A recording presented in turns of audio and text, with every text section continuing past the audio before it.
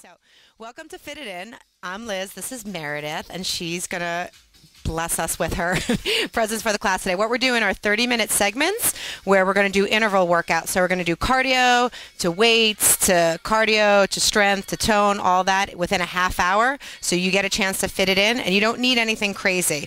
You do need um, some water. You need Swiffers if you have them in the house. So if you use, you know, something else, we're going to use these as gliders for the floor a little bit if you have hardwood floors. If not, we're not going to do that many of them. But if you can grab these, um, and then if you have some type of weights, if you don't have regular weights, like a five pound or eight pound weight, if you have water bottles, or it's another thing, you might have to pause, go get it, come back.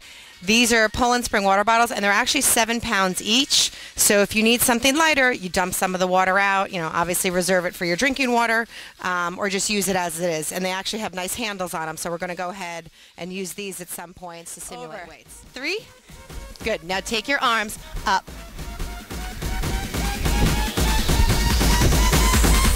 Great. Take the leg behind you like you're skating. Push, push. Keep going. Bicep curls. Up and down. Lift and lower. Good. So all the way down, full range of motion. Good. Good. So you can slow it down. You don't have to go too fast. Down two and up two. Now, if you feel super strong, go ahead to single counts.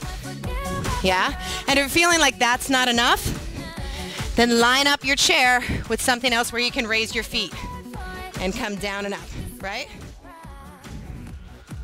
Cleaning side down, just out and in. You're gonna lunge and lift, down and up. So you're gonna watch that knee, don't put it past the toe, out and in.